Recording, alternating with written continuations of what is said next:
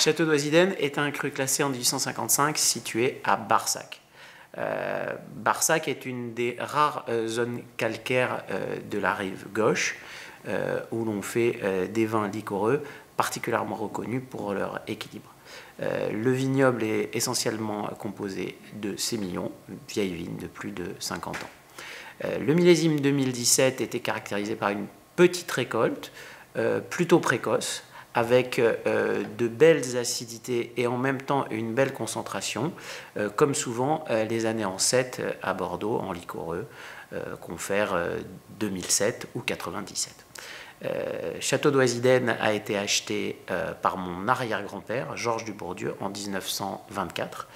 Euh, donc la famille euh, s'apprête à célébrer euh, le centenaire de notre présence à Doisy d'ici 2024.